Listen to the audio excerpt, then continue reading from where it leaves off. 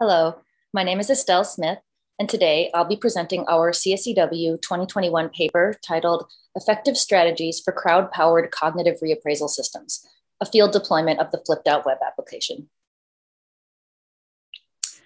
So as many of us have personally experienced, uh, mental illness is an epidemic and a crisis in our country right now. About 20% of US adults and over 40% of graduate students are routinely diagnosed with mental illnesses such as depression and anxiety, as long as a variety of other types of mental illness.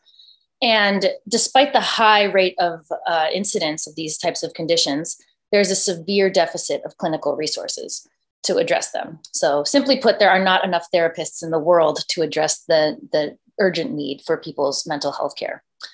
And on top of this, there's other complicated issues related to stigma for seeking uh, for seeking mental illness resources, as well as financial and racial disparities in terms of who is able to access these resources. As a result of some of these complicated issues, only about 30% of the people who need support actually go and seek clinical help for their condition. And this is a, this is a situation that the COVID 19 pandemic has only exacerbated and made quite a bit worse.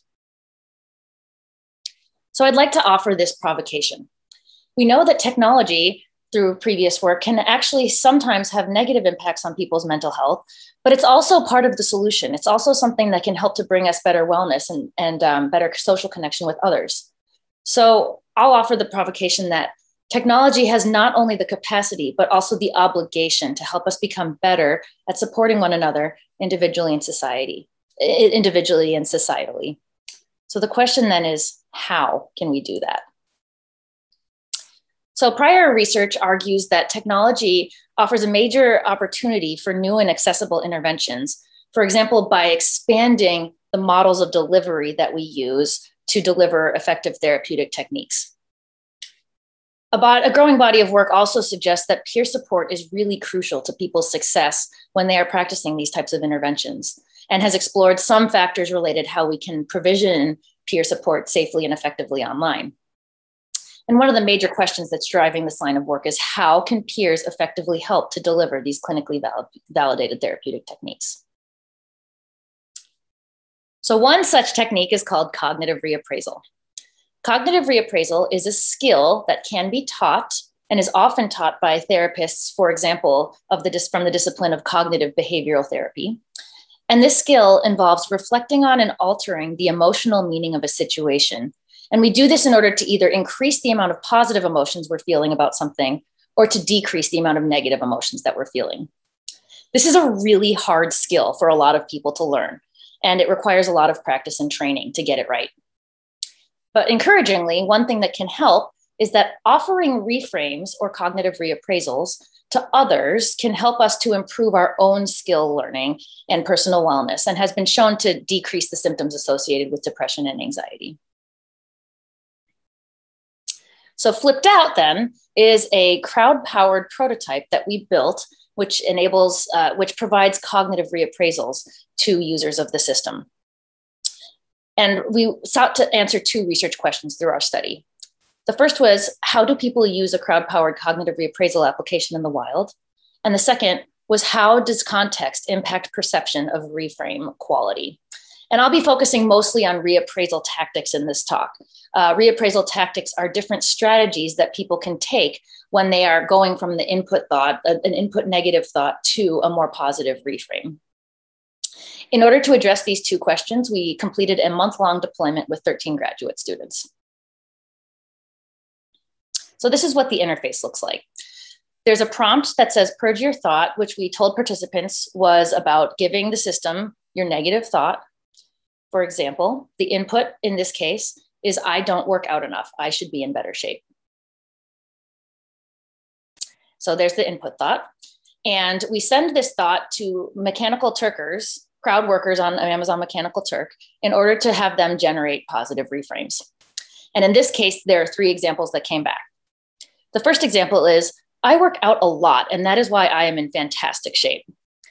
This is using the strategy of direct negation. It's effectively saying the opposite of whatever the thought was that someone provided to the system.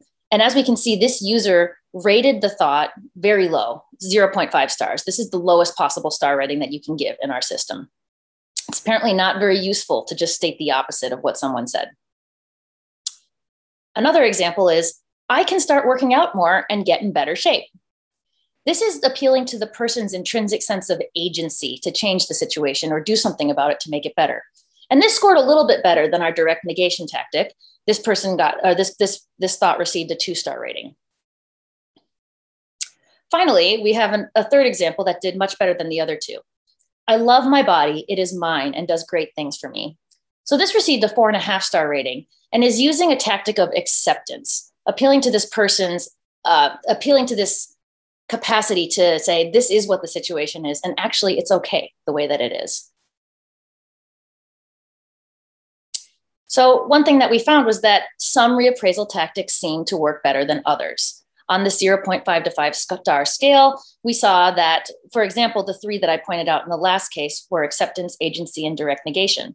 Um, but there's many other different types of reappraisal strategies that people can can use in order to reframe these negative thoughts. And it seems that some of them are better than others. We also looked at different contextual factors that are related to this whole reappraisal process. So, for example, what types of things are going on in the input thought? We developed code books that look at the topic of the thought, so things like work, relationships, or home life, um, what we call meta topic. So, for example, self disparagement, regret, rumination, and several others, or whether the topic of the thought is occurring in the past, the present, or the future. And we found that it appears that all three of these categories can impact how people, uh, how people rate the resulting reframe that comes back through the system. The other set of factors affecting uh, how the reframe is rated is how the thought is actually being reframed. So I've already talked about re- reappraisal tactics, but there's also other meta behaviors that we saw crowd workers using, such as differences in how well their grammar was structured, um, and other activities such as acknowledging the main concern of the thought, or sometimes introducing new information that wasn't even present in the initial thought. Um, many of these meta behaviors also had a significant impact on how people were uh, rating the reframes. So what can we do with some of these insights that we that we gained through our study? How can we design crowd-powered cognitive reappraisal systems to effectively help people? One of the learnings that we took away from our participants was that rather than prompting for negative thoughts, we should actually be prompting people for reflection. People felt that if the system is telling them to feed negative thoughts, it can sometimes force them to bring up a negative thought that they had, even if they weren't experiencing it in that moment, which can actually have the opposite of the desired effect.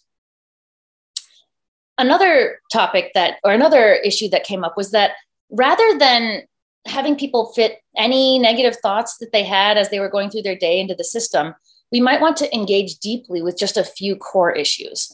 So this can re- reduce repetitiveness and actually kind of keep people focused on what really matters.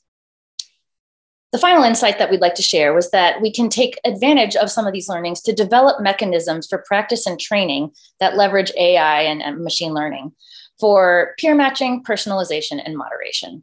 So the paper provides a whole a variety of ideas related to how we might implement those things based on our results.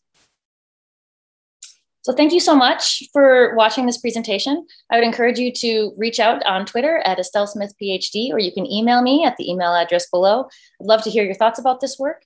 And I uh, hope that you have a wonderful time at CSCW.